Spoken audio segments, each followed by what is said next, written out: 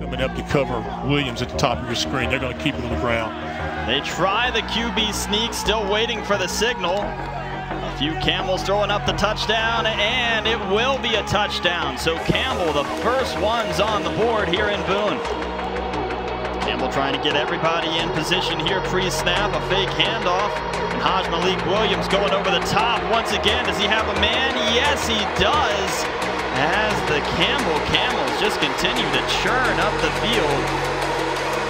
Years led by Dale Jones, longtime App State coach back this season. Hajj-Malik Williams has his eyes for the end zone and he puts the ball across as Campbell is not going anywhere